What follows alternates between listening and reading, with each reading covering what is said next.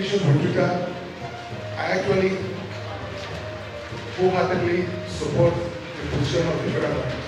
It is not right that they can operate in Nigeria or any other country without any form of control. Many Nigerians will be employed, gainfully employed.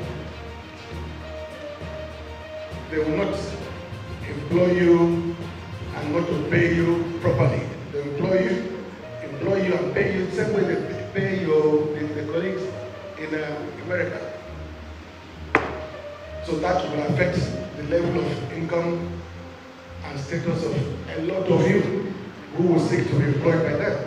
If they operate in Nigeria, where we have over 200 million people, and maybe 100 million active users of the various social media uh, platforms,